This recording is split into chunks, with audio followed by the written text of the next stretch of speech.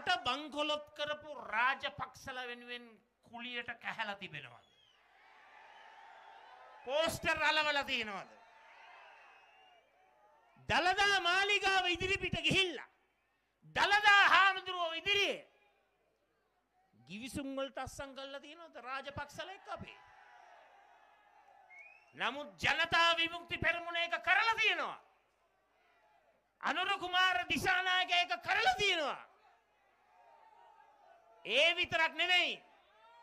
ඒ අය පෙන්නන්න හදනවා කවදාවත් ආණ්ඩුවල හිටිය නැහැයි කියලා.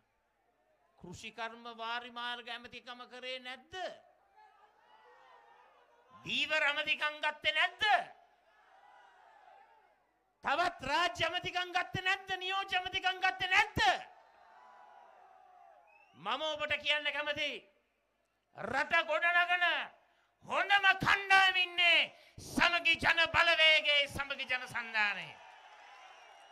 සුපිරිම ටීම් එක ඉන්නවා. රට වැටී තිබෙන මේ අමාරු තත්ත්වෙන් ගොඩගන්නට අපි කැපවෙනවා කැපවෙනවාමයි. මම ඔබට එකක් කියන්න කැමති.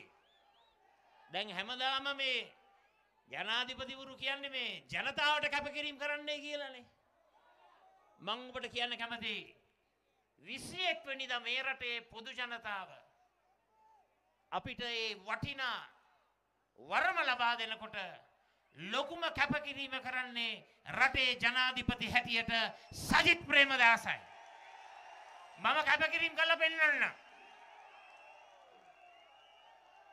මම පඩිනඩි දීමනා ගන්න ජනාධිපතිවරයෙක් වෙන්නේ නෑ මගේ සේවාව මගේ මාතෘභූමියට මම ලබා දෙන්නේ කිසිම වේදනයක් ගන්න නැතුව.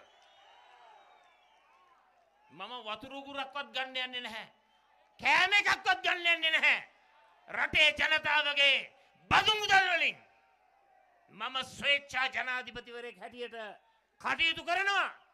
මුළු බදුලු දිස්ත්‍රික්කයම සංවර්ධනය කරන්නට මං කරන පළවෙනිම දේ තමයි බදුලු දිස්ත්‍රික් සංවර්ධන ජනාධිපති විශේෂ කාර්ය සාධක බලකාය presidential task force on developing Badulla district ඒක අපි ආරම්භ කරනවා.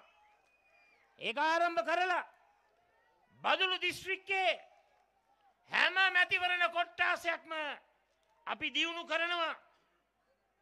මැතිවරණ කොට්ටාස නමයම ප්‍රාදේශලේකම් බල ප්‍රදේශ පහළවෙම පළාත් පාලන බල ප්‍රදේශ දහටම වසම් පන්සිය හැට හතේ කුඩා ගම්නියම් ගම්නගර දෙදස් පන්සිය අසුවෙම ජීවත්වන ජාතියාගම් කුණමල පන්ති පක්ෂ බෙහෙදෙන් තොරව බදුලු දිස්ත්‍රික්කේ ජනතාවට ශක්තිය ලබා දෙනවා.